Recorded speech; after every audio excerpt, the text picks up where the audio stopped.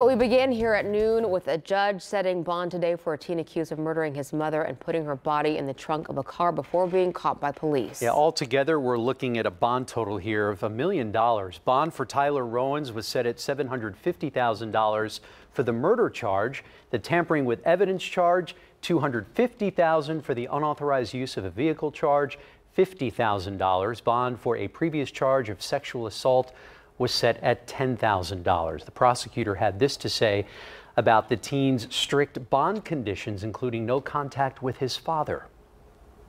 The judge has made it clear that he's not to have contact with his father or go near his father's residence, um, as well as if he gets out, he has to be on 24 hour house arrest with an ankle monitor.